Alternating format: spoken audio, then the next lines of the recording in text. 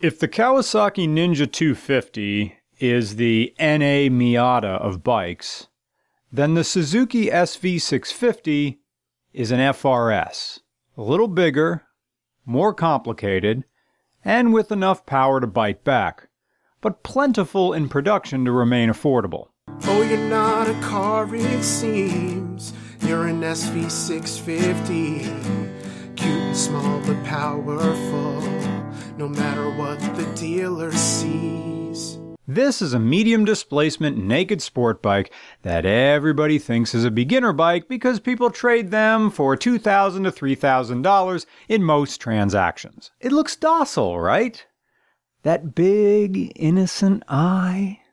Mattel toy like instruments. That visually soft and curvy truss like frame. Those roundy round cute mirrors.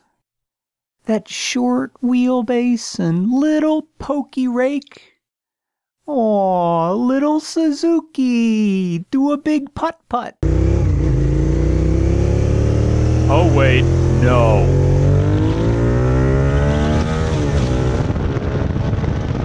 The SV650 was Suzuki pulling a sneaky on the motorcycle community from 1999 to 2014, and then again on from 2016, and everybody keeps falling for it.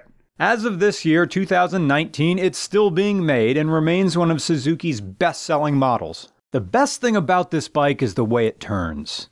There's no shuddering, oscillation, or sensation of instability in turns. There's an asterisk to that, but we'll get to it. An SV650 changes direction and lean angles like a hungry New Jersey seagull dives for a fry. Most medium displacement sport bikes are all-rounders like my Suzuki 650F slash Bandit.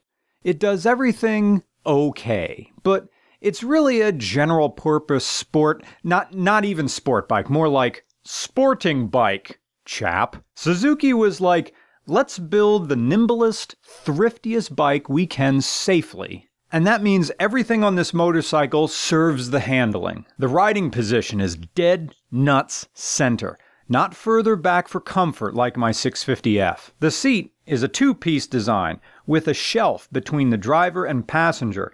And, and the driver section here is also very small. This keeps your dumbass ass from sliding backward and screwing up the weight balance. The wheelbase is short to reduce slug. The fork angle is MotoGP steep, and the engine is not a traditional sport bike inline four cylinder like my 650F. It's a V twin, retaining double cams and four valves for high revving safety, but all the power is low, low, and mid range. The 90 degree V makes 70 horsepower at 9,000 RPM and 46 pound feet of torque at 7,500 RPM. Top speed is in the neighborhood of 130 miles an hour, and the wet weight of the bike is only 417 pounds. Compare that to the 83 horsepower, 45 pound feet 650F, which weighs 540 pounds wet. Yeah, this full fairinged i4 bike makes 13 more horsepower but it weighs one soprano sax player more. And because the SV has the same displacement and valve train architecture, but guiding only two large pistons instead of four small ones, this adorable naked soft boy has balls.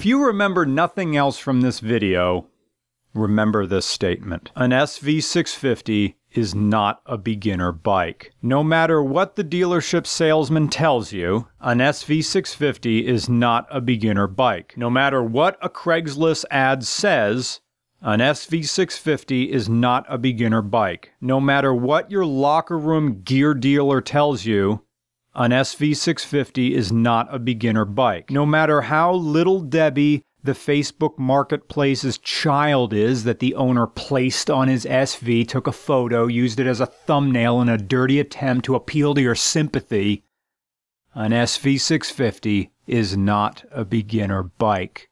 When Suzuki built a sharp handling, short wheelbase, lightweight, torquey AF bike, they unavoidably made a wheelie machine. Let the clutch out too fast and whoop, the front wheel hops up.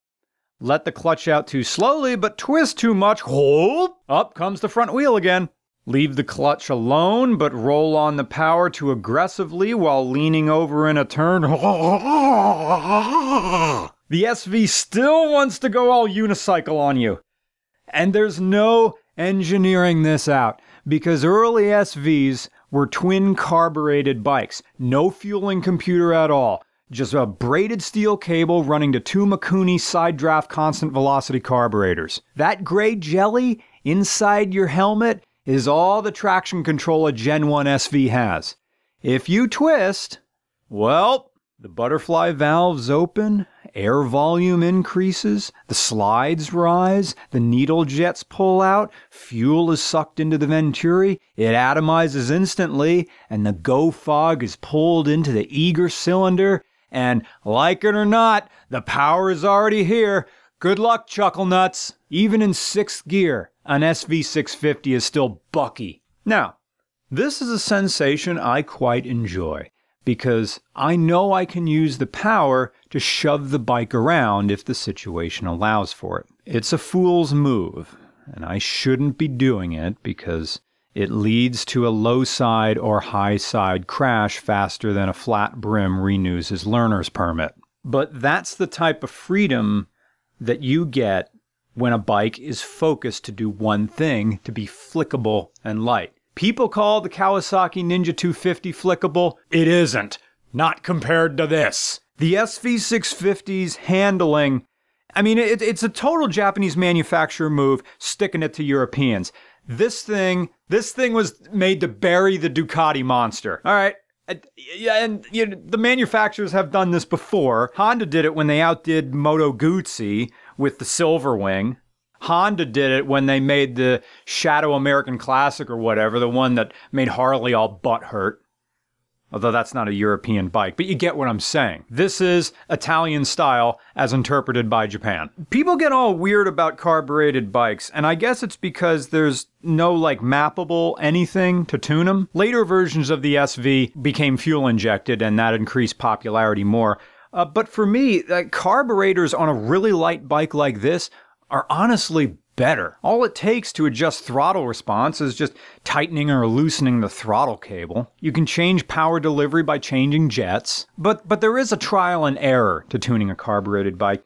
And due to the nature of the 60 degree V, the two Mikuni carburetors are tucked way, you can't even see them on the bike. They're tucked way up, up against the fuel tank. And they're even arranged really weird. So you have to take the tank off, you have to take extra accessories off. It, it's a day project to really get at these carbs. I mean, if you're used to SVs, you can do them quicker. And, but that's probably the hurdle that people get over when they get all ooh is there there's like forum posts is there a way to convert my sv to fuel inject there isn't and honestly mikuni carburetors as long as you're putting Sta-Bil in them you could probably have this bike for 40,000 miles and you'd never have to touch the carburetors once. As long as you're putting Sta-Bil in. Anybody who's in the bike should have an SV at some point in your motorcycle history. It's like getting handcuffed to a bed. Just just just do it once. Just to see what it's like, to understand what sub to understand what submission is really about. you, you're submitting to what this bike demands. It demands your attention and you're going to have it. It's a very exhausting bike for me to ride. You have to be awake all the time because you're in control, but the bike is constantly, you sure? You sure about that? You sure you're not going fast enough? Let's go faster. Let's do this. Take this corner harder. Do it. Do it. Do it. Do it. Do it. It's it's one of the most fun bikes you're going to ride. And it's one of the cheapest bikes you're going to ride. These things are crashed all the goddamn time. It's like that one friend who just says, "Do it, do it, do it," and then you do it, and then they said, "I didn't really tell you to do it. Why'd you? Why are you listening to me for?"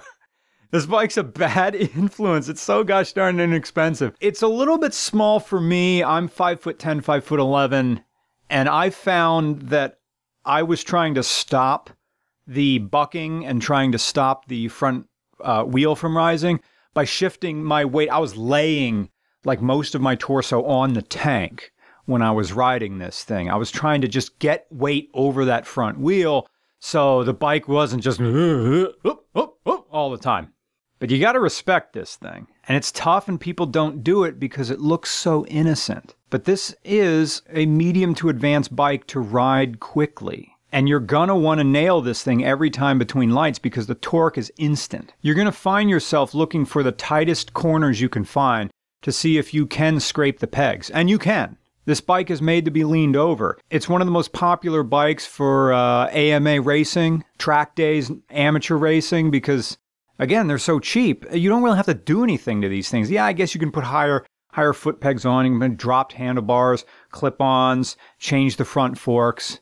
But like an FRS, it's ready to go on the track and have fun. Have fun. Get out there. Tear it up. But remember, an SV650 is not a beginner bike. Stay safe out there. Know the difficulty spikes. You could have ridden any bike. No beginner's ride you liked. So I guess here's what you chose.